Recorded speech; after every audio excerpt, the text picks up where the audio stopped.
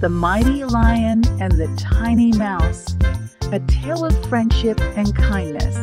Once upon a time, in a vast jungle, a mighty lion ruled over all the animals. One sunny day, while taking a nap, the lion felt a tiny creature running over his tail. He quickly grabbed the creature with his paw and saw that it was a tiny mouse. The lion sneered, How dare you wake me up from my nap? I could easily crush you with just one paw. The little mouse trembled in fear. Please, your majesty, spare my life.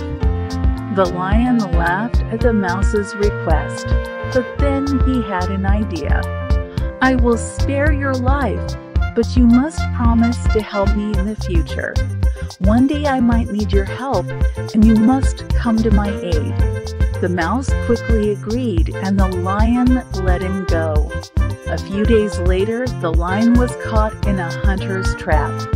He roared and struggled but couldn't free himself. The mouse heard the lion's cries and rushed to see what was happening. When he saw the lion trapped, he knew he had to help.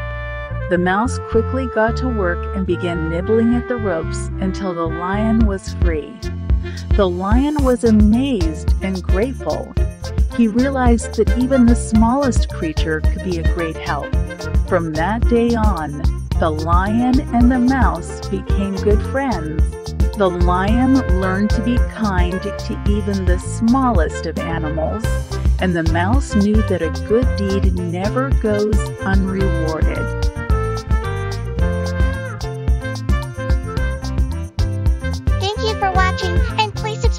stories